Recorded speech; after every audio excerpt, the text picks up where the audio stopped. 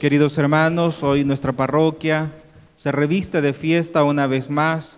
Los 25 de cada mes celebramos esa misa de acción de gracias por todos los milagros que el Divino Niño Jesús hace en nuestros hogares. Hoy en esta misa damos apertura a la peregrinación del Divino Niño en cada uno de los hogares, de los sectores de nuestra parroquia.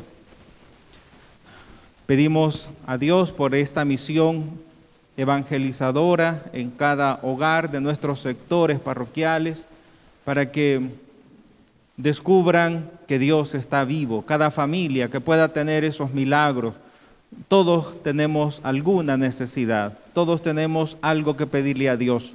Pues ahora algunas familias van a tener la oportunidad de llevar estos divinos niños, como ustedes pueden ver.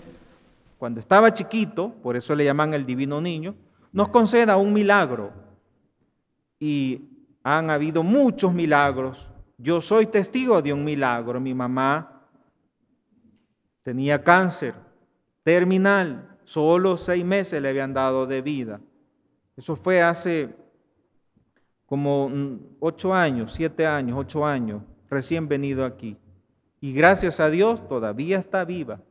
Y ella tenía cáncer en el páncreas y se hizo la piel bien amarilla y no aguantaba, le picaba la piel. Y el divino niño Jesús le curó. Y así he escuchado tantos milagros.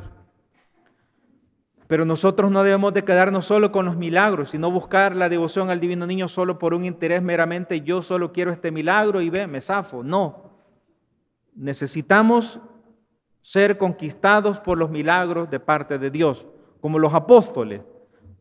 Los apóstoles, antes de que ellos dijeran, dejamos las redes a nuestros papás y nos vamos con Jesús, sucedió la pesca milagrosa.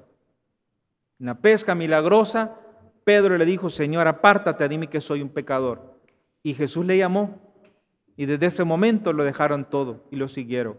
De manera que los milagros que vamos a recibir, que sean solo como aquello que conquiste nuestro corazón. Y que después tú no vayas a decir, me quedo con el milagro, como los apóstoles pudieran haber dicho, me quedo con las dos barcas llenas de pescado. No. Ellos se fueron, eligieron la fuente, eligieron a Jesús. Y así hay tantos, tantos milagros, queridos hermanos, y les invito para que le pidan, pidan al divino niño y Él les va a, va a dar ese milagro.